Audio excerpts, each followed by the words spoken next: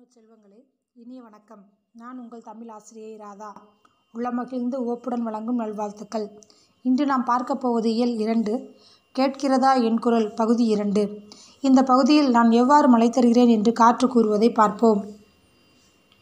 நான் பருவ காலங்களில் மேகத்தை கொண்டு வந்து மழையை தருகிறேன். தென்மேற்கு பருவக்காற்றாக வடகிழக்கு பருவக்காற்றாக உலா வந்து மேகத்தை குளிர்வித்து மழையாக பொழிகின்றேன். கதிரவனின் வெப்பத்தால் சூடாகி அடர்த்தி குறைந்து மேலே செல்லும் நான் அங்கு ஏற்பட்ட வெற்றிடத்தை நிரப்பியும் பருவக்காற்றாக மாறுகின்றேன். ஜூன் முதல் செப்டம்பர் வரை தென்மேற்கு பருவக்காற்றாகவும் அக்டோபர் முதல் டிசம்பர் வரை வடகிழக்கு பருவக்காற்றாகவும் வீசுகின்றேன். இவ்வாறாக மழைப்பொழிவை தருகின்றேன். இந்தியாவின் முதுகெலும்பு வேளாண்மை தானே. இவ்வேளாண்மை சிறப்பதிலும் நாடு தன்னிறைவு பெறுவதிலும் நான் பங்கெடுக்கின்றேன். இந்தியாவிற்கு தேவையான எழுபது விழுக்காடு மழை அளவினை தென்மேற்கு பருவக்காற்றாக கொடுக்கின்றேன் என்கின்றது காற்று. தடம் பதிப்பேன் நான். வடகிழக்கு பருவ காலங்களில் தாழ்வு மண்டலமாய் தவழ்ந்து புயலாய் மாறி புறப்படுவேன். ஆற்றலுடன் வீறு கொண்டு பயணிக்க தொடங்கினால் என்னை தடுக்க யாராலும் இயல்கிறது என்கிறது. மழையாக புயலாக தடம் பதிப்பேன் நான் என்று கூறுகிறது. என் ஆற்றலை வலிமிகின் வலி இல்லை என்று புறநானூற்றில் ஐயூர் முடவனார் சிறப்பித்துள்ளார் என்றும் இதுபோன்றே மதுரை இளநாகனார் கடுங்காற்று மணலை கொண்டு வந்து சேர்க்கின்றது என்றும் என் வேகத்தை பற்றி குறிப்பிட்டுள்ளனர். ஆற்றலாக நான் நான் உயிர்வழி தந்து உயிர்களை காக்கின்றேன். உயிர்வழி என்றால் ஆக்சிஜன். ஆக்சிஜனை கொடுத்து நாம் அனைவரையும் காக்கின்றது. தாவரங்களில் ஒளிச்சேர்க்கையில் உணவு உற்பத்திக்கு உதவுகின்றது. விதைகளை எடுத்துச் சென்று பல இடங்களிலும் தூவுகின்றது. பூவின் தேனின் கனியின் தாவரத்தின் உயிரினத்தின் மனத்தை எண்ணில் சுமந்து புவியின் உயிர் சங்கிலி தொடர் அறுபடாதிருக்க உதவுகின்றது. இவை மட்டுமல்ல உங்கள் நவீன தொலைத்தொடர்பின் மையமாகவும் நானே உள்ளேன் என்கின்றது காற்று. காற்றுள்ள போதே மின்சாரம் எடுத்துக்கொள் என்னும் புதுமொழிக்கு வித்தாகின்றது. புதுப்பிக்கக்கூடிய ஆற்றல் வளமான காற்றை பயன்படுத்தி மின் ஆற்றலை உருவாக்கும் போது நிலக்கரியின் தேவை குறைந்து கனிம வளங்கள் பாதுகாக்கப்பட காரணமாகிறது. உலக காற்றாலை மின் உற்பத்தியில் இந்தியா ஐந்தாம் இடம் பெற்றுள்ளது என்பதும் இந்தியாவில் தமிழகம் முதலிடம் வகிக்கிறது என்பதும் நமக்கு பெருமையே. ஆனால் என்னை உலகிலேயே அதிக அளவு மாசுபடுத்தும் நாடுகளில் இரண்டாம் இடம் இந்தியாவுக்கு என்பதை அறியும் பொழுது காற்றிற்கு பெருந்துயர் ஏற்படுவதாக கூறுகிறது. மனிதனால் மாசடையும் நாள் நம்மால் தான் மனிதனால் மக்களால் எவ்வாறெல்லாம் காற்று மாசடைகின்றது என்பதை கூறுகிறது. நீங்கள் உணவின்றி அதாவது நாம் உணவின்றி ஐந்து வாரம் உயிர் வாழ முடியும். நீரின்றி ஐந்து நாள் உயிர் வாழ முடியும். ஆனால் காற்றின்றி ஐந்து நிமிடம் கூட நம்மால் உயிர் வாழ இயலாது. இந்த உண்மையை நாம் உணர்ந்தும் காற்றினை நேசிப்பதில்லை.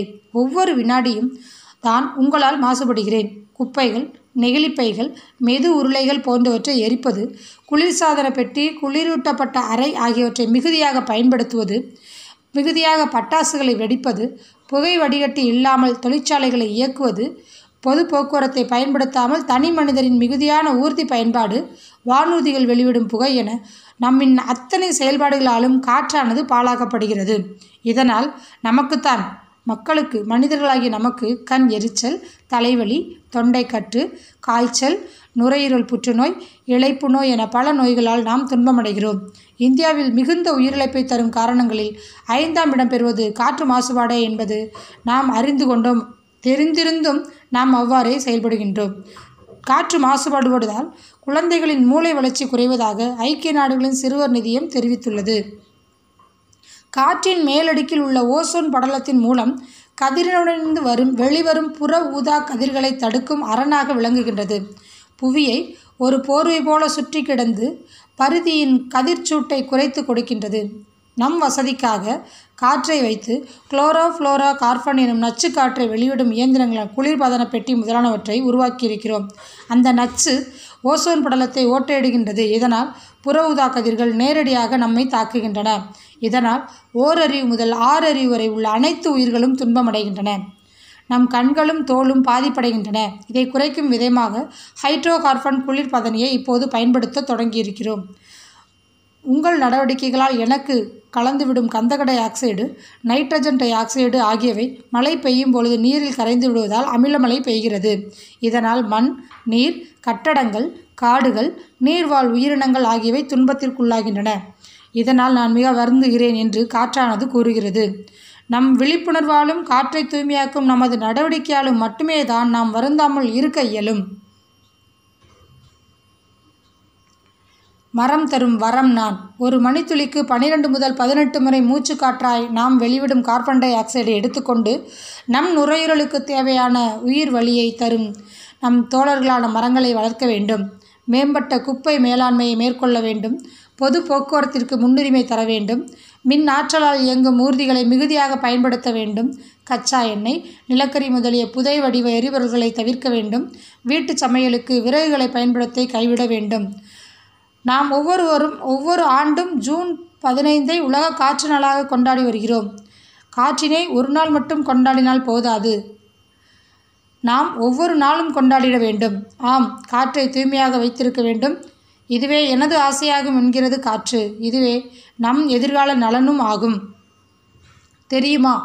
குளோரோஃப்ளோரோ கார்பனின் ஒரு மூலக்கூறு ஒரு லட்சம் ஓசோன் மூலக்கூறுகளை சிதைத்து விடும் தேவகோட்டை வா மூர்த்தி அவர்கள் வருத்த பின் வருத்தங்கள் எனும் தலைப்பில் கவிதையை பாருங்கள். மென் துகிலாய் உடல் வருடி வாஞ்சையுடன் மனம் வருடி பகலெரிச்சல் பணக்கவலை பயக்குழப்பம் மொட்டை மாடி தனி இரவில் நட்சத்திர கணக்கெடுப்பில் மறுபடியும் தவறவிட்ட தாளாத தன்னிறக்கம் இவை எல்லாமே எளிதாக கரைந்து போகும் மாயங்கள் செய்கின்ற பூங்காற்றே. இத்தனை நாள் உன்னை பாடாதிருந்து விட்டேன் புது கவிதையில் சிக்கிப் போனேன் என்கிறார் தேவகோட்டை வா மூர்த்தி. எத்திசையும் புகழ் மணக்க தாய்லாந்து மன்னரின் முடிசூட்டு விழா. தாய்லாந்து மன்னரின் முடிசூட்டு விழாவில் திருவம்பாவை திருப்பாவை பாடல்களை தார் நீங்கள் ஒரு வருடத்தில் வெளிவிடும் இருபத்தி ரெண்டு கிலோ கார்பன் டை ஆக்சைடை நான் ஆக்சிஜனாக மாற்றுகிறேன். என்னை வாழ விடுங்கள் என்கின்றது மரம். ஒவ்வொரு வெள்ளைத்தாளும் என் இறப்புச் சான்றிதழ் என்று கவிதை பாடுகிறது. மரம் மனிதனின் சுவாசம் மரம் பறவைகளின் சரணாலயம் மரம் வழிப்போக்கரின் கூடாரம் மரம் பழங்கள் தரும் பலன்கள் தரும் நிழல் தரும் மழை தரும் மனிதன் காடு வரை செல்ல கூடவே வரும். மலையின் தாய் மரங்கள் என்பதை காற்றின் இருதயம் இலைகள் என்பதை உரத்துச் சொல்லுங்கள். உலக சுற்றுச்சூழல் தினத்தில் மரம் வளர்ப்போம் உயிர் காப்போம். உலக சுற்றுச்சூழல் தினம் பற்றிய விழிப்புணர்வை மாணவர்களிடம் ஏற்படுத்துவோம். கற்றலில் இனிமை பெற்று தேர்ச்சி பெற வாழ்த்துக்கள். நன்றி. வணக்கம்.